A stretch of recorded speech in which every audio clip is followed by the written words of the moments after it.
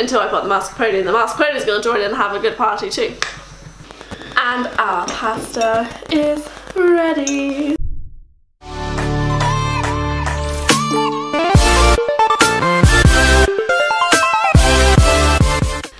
Hey guys, welcome to Itallish. I am Coral and behind the camera is Riccardo today.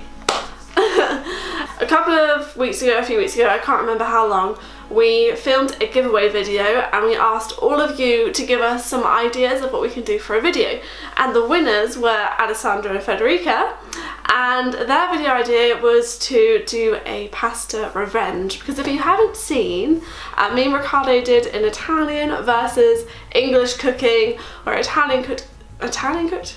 Well, Riccardo cooked carbonara and I cooked like a... No, it wasn't a carbonara. No? It was a cacio pepe. Oh, okay. Well, Riccardo cooked a cacio pepe, like you just said, not carbonara. and I cooked um, like pasta with just like tomato sauce from the bottle. Apart from I didn't salt the water properly and I didn't do anything with the pasta sauce. So that is actually not how I cook. So all of those like comments like, oh my goodness, she's such a bad cook, she needs to learn how to cook, blah blah blah blah blah, there was tons of them. And also tons about Riccardo saying he wasn't doing it properly, but we're not going to go into that one because people just cook it their own way and sometimes we do things differently because that's what we like to do. Um, so, I'm going to show you how I really cook pasta today, not like that other video that you saw. So we're going to be using fresh pasta that we have made. So if you want to see us making this, let us know. And for the time being, you can go check out Alessandro and Federica's video, as we don't have one of these pasta making videos yet, but they do. So let us know if you'd like to see us making one also. Right now, I'm going to boil some water in a pan on the fire. You're gonna use fire. I use a fire. You're not using the kettle. It's broken. Oh. you know, one of the comments actually said that you probably just cooked the pasta with a kettle water and you didn't turn on the fire just because it was a low fire. Oh, right. Yeah, they were convinced that That'd you actually gross, cooked. it? Yeah, so they were like, "How do you even cook the pasta? The pasta's not even cooked because you just used the boiling water from the kettle." Like, what? That'd be disgusting. Imagine that, because that water would just go cold as soon as like, you put the pasta in, it would just like chill it down. Oh, if you're wondering what that is, that is Super Mario. Can you see it? Let's All go. to do is get like Yeah. an artistic I view. think you can. Okay, so for the sauce, I'm not going to be making like the ragu tomatoey sauce. I'm going to be doing a mushroom mascarpone sauce. So first thing that I need to do is to get my pan. My pan.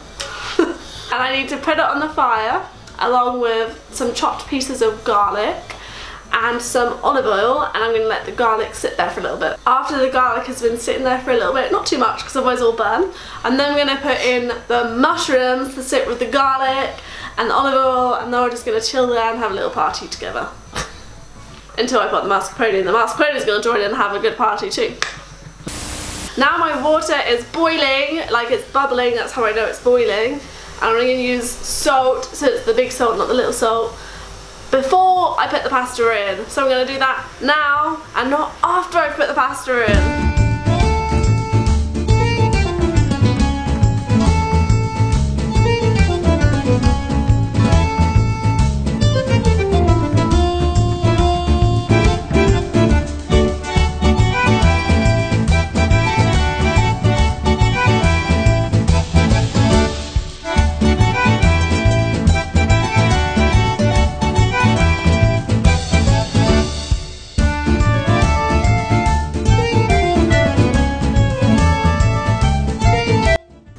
Once we put our mascarpone in the pan, we also need to get some of the cooking water from the pasta and pour it in so that the mascarpone becomes more liquidy and also add some salt to make it more salty and give it more flavour. And then that's the sauce finished, so once your pasta's ready, you're then going to transfer your pasta, once you've drained it, obviously, to the sauce and give it a good mix around. Mix, mix, mix. Then you can eat it.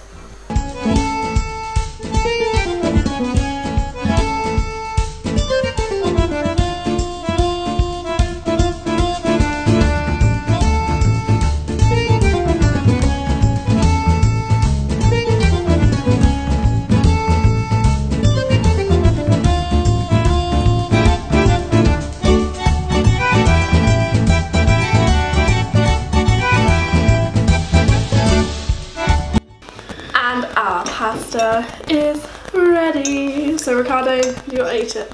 Oh, do I have to? Mm-hmm. Don't want to die. So this pasta doesn't have a name. So whoever is trying to say, "Oh, that's a, a carbonara gone wrong" or something like that, as they normally do.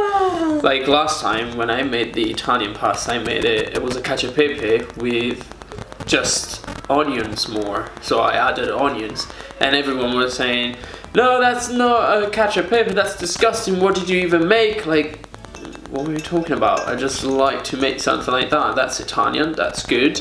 People like it. It was tasty. So Have you even had a bite yet? no. And I hope you enjoy eat coral too. And I hope you um, enjoyed watching how I can actually make pasta. If you want to complain, just send us an email, and we will definitely not look into it. Bye-bye.